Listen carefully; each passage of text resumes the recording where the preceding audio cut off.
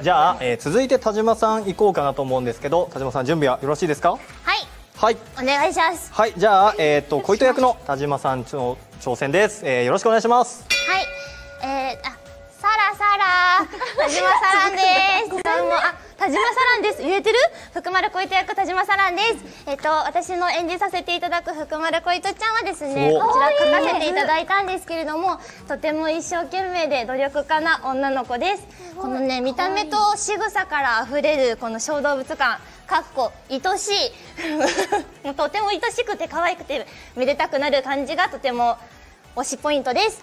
え人見知りだけどこう仲を深めるとまたちょっと違った一面が見えたりとかして可愛いです。特に私が小糸ちゃんの中で好きなのはあの笑顔とこう嬉しい時にこう横揺れのゆらゆらモーションがとても可愛くて好きです、えー中の人は田島サラン待って。え 田島サランです。えー、まあサランちゃんをサラランサラマル田島ルお好きなように呼んでください。絵を描くのが好きです。あと食べることとお昼寝することが好きです。かわいいペースです。おちょうどいいんじゃない？よろしくお願いします。ありがとうございます。とまってたよやった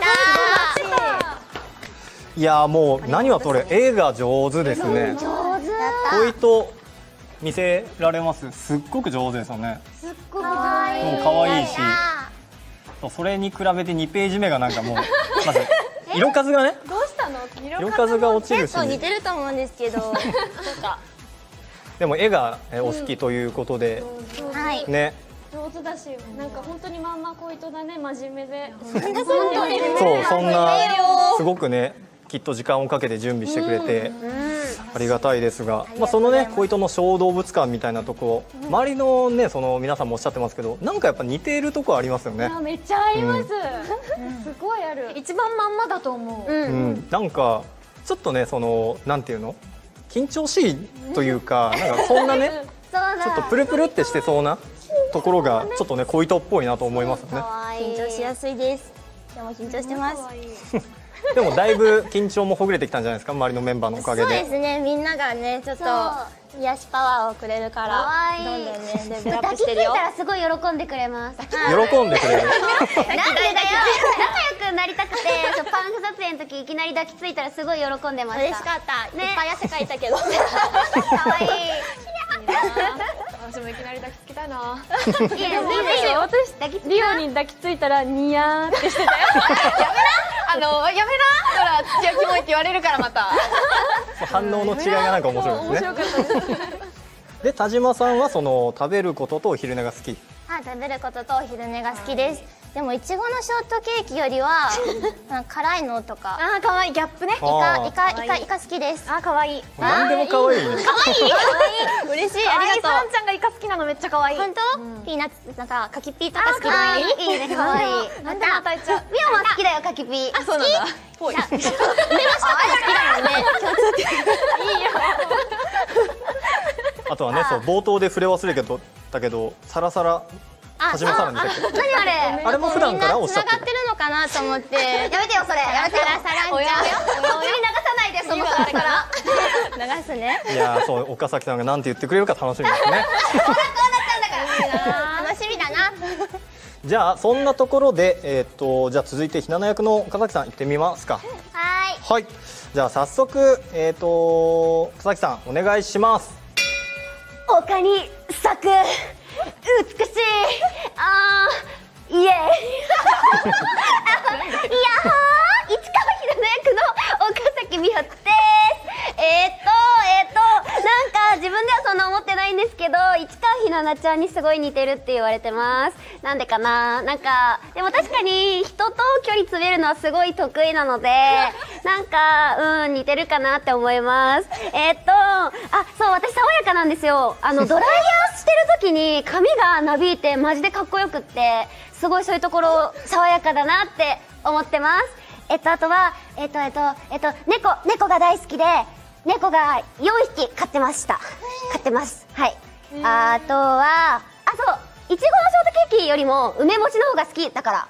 梅干しの方が好きだから ちょっとそこはちょっと好感度上げていただきたいなって思います。えーまだ？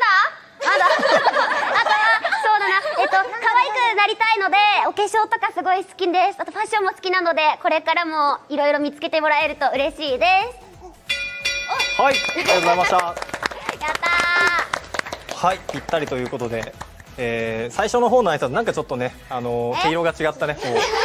結構なんかちゃんとした考えられた他に咲く美しいすか？イエイーえちょっとやっぱ締めなんでなんかね決めな何その冷たい目やめてくれる？やりましたちょっと頑張ってやりましたありがとうございますはいでもね名前覚えてもらえるいい自己紹介あそうなんです覚えて皆さんこれでねなんかねあの自己紹介できたから、そうですね。ね、今後もガンガン出していってほしいなとワクワク。思います。そうワクワクからね。みんな忘れないように。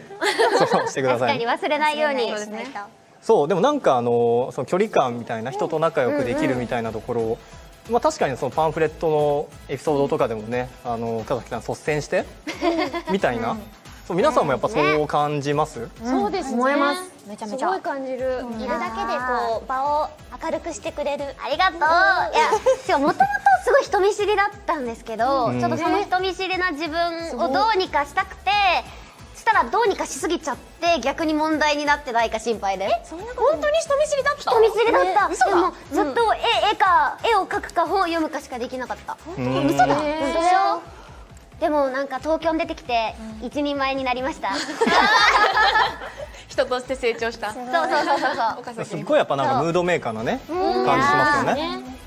うん。あとはえっ、と猫ちゃん猫ちゃん4匹4匹はすごいね。そうなんですけど、猫アレルギーなんですよ。えそうなの？そういや猫が大好きでそう土屋も好きじゃん猫。猫好き。で4匹飼ってるんだけど声声 前のめりになっちゃった。東京に上京してその実家に帰った時に急に猫アレルギーになって息息が苦しいみたいな。え結構。あー真っ赤になっちゃったみたいになって。でも猫は好きなのでこう猫のグッズとか買ったり動画とか見て日々癒されてはいるいるんですけど。はい。じゃあもう抱っことかできないの？そうだからあのティッシュを巻いてそれからタオル越しであこう抱っこするみたいな。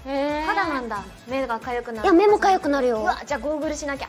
そうね。もう何としても触りたいからどうにかしてるんですけど。いやー辛確かに辛いね。猫好きなのにね。そしてショートケーキではなく梅干しが好き。そうそうそうそういやショートケーキも好きなんですけどいやさっきのサランちゃんのねこう流れを聞いてたらちょっと私もうなんかそういうギャップを狙いたいなと思いまして だったらあの梅干しが好きだよっていうことをちょっとここでお伝えしたいなと思いまして。あのお弁当のさ、うん。真ん中の白米の真ん中にあるあの赤いやつも好きなんだよね。あれはね違うの。あれはダメなんだっけ？あのね。ふっくらだよね。ふふっくらだけど、あのあのご飯はあのあの梅をどいた後の梅の成分が染み込んだ赤いご飯が美味しい。ああそれは分かる。分かるそこが優勝やねん。わかる。そうそうそうそう。確かに。です。梅の話でねこんなに涌井さんが食いつくと思いませんでした すごい食いついてくれた。私も好き涌井のツボわからないよね。枠いきなり来るから。私結構ツボ浅いのでよろしくお願いします。何に笑うか分かんないけど。怖い怖い。はい